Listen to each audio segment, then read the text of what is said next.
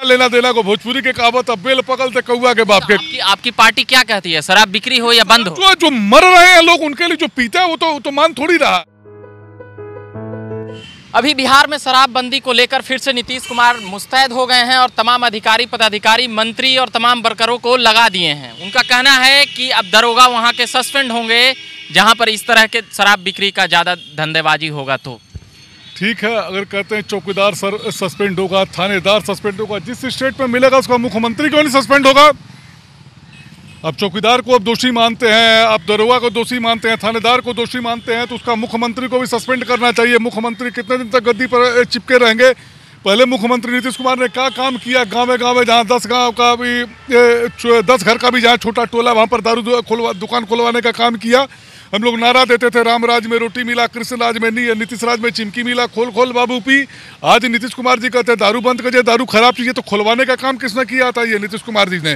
किसी को आप आदत लगा दिए, हिरोंची बना दिए, शराबी बना दिए, उसके बाद उसका आप बंद करने जा रहे हैं। अब खाना पीना किसी के अपने इच्छा के अनुसार होता है। देखिए, कपड़ा जो है, वो समाज के अनुसार पहनना चाहिए। भोजन अपनी इच्छा के अनुसार करना चाहिए। अब कोई मांस खाता है उसके लिए मांस अच्छा कोई मांस नहीं खाता उसके लिए शराब बिक्री होना चाहिए पूरा जम के। देखिए शराब बिक्री जो पीता है उसके लिए तो अच्छी चीज़ है जो नहीं पीता उसके लिए खराब चीज़ है अल्कोहल जो है हर दवा में जो डाला जाता है। अल्कोहल जो हर में देखिए, जो शराब तो आखिर बिकी रही ना, शराब भूत की तरह हो गई है, दिखाई नहीं कहीं दे रही है, लेकिन मिल हर जगह रही है। इनके सचिवालय के बगल में डिलीवरी हो रहा है, सब कुछ हो रहा है। अभी कल ही इधर मुख्यमंत्री समीक्षा बैठक कर रहे थे, उधर महानार में इनका एक पदाधिकारी पकड़ाया गया। अभी दो तीन रोज पहले हड़ताली चौक पर एक ठेला दारू पकड़ा गया। शराब बंद कहाँ है? शराब जो दो सौ का था दो हज़ार में मिल रहा है। शराब तो बिक ही रहा है इनका थाना इनका प्रशासन सब शराब बिकवाने का काम कर रहा है। राजस्व की हानि सरकार को हो रही है लेकिन शराब कोई बंद तो नहीं है। नहीं मेरा हमको समझ में नहीं आया। आप शराब बिक्री के समर्थन में है या शराब बिक्री के विरोध में है? देखिए मैं तो शराब पीता नहीं। अब शराब बंद है तो हमको उससे क्या लेना देना? को भोजपुरी के कहावत अब बेल पकल ते कौआ के बाप के। आपकी आपकी पार्टी क्या कहती है? शराब बिक्री हो या बंद हो? जो जो मर रहे हैं लोग उनके लिए जो पीता है वो तो तो मान थोड़ी रहा है। जो पीता है तो पी ही रहा है ना। वो ब्लैक में खरीद रहा है, जो जहरीली शराब खरीद रहा है, जो पीने वाला वो तो मान नहीं रहा। उसका लाइसेंस बना दिया जाए, दुकानें खोल दी जाए, सरकार द्वारा ऑथराइज जिससे सरकार को रेवेन्यू भी आया, दाम जो है, आज 500 की बोतल जो है 2000 में बिक रही पच्चीस में रही है।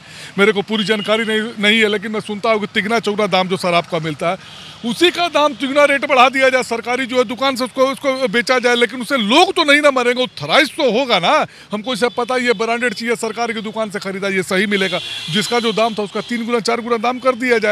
देखिए, शराब तो किसी जगह अच्छी नहीं मानी जाती। अब देखिए, सिगरेट के डिब्बे डिब्बे पर, हर डिब्बे पर लिखा होता है, सिगरेट पीना स्वास्थ्य के लिए हानिकारक है। दारू के हर बोतल पर लिखा होता है, शराब पीना स्वास्थ्य के लिए हानिकारक है। ये जो आप अमूल स्प्रे दूध लेते हैं, उस पर लिखता है, माँ का दूध बच्चे के लिए सर्वोत्तम है, लेकिन अमूल स्प्रे की बिक्री होती है कि नहीं होती है?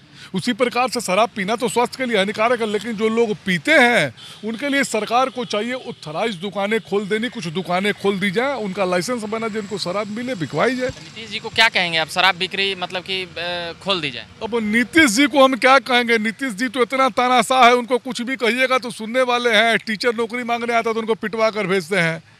कोई सर्विस माँगता, उन्नीस लाख नौकरी का वादा किए थे। उधर में देखे नीतीश कुमार, बिहार में। अब देश में नरेंद्र मोदी दोनों की राशि एक है। न से नरेंद्र, न से नीतीश। अब दोनों के दोनों तानाशाह हैं।